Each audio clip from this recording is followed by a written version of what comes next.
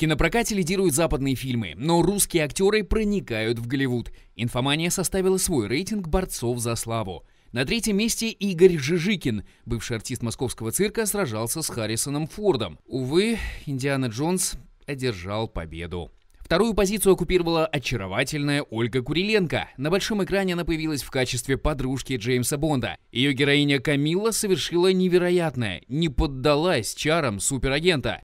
Первое место заслуженно занимает Антон Ельчин. В 20 лет он получил одну из главных ролей в четвертой части «Терминатора». В следующих фильмах он снимется с Милой Йовович и Колином Фарреллом.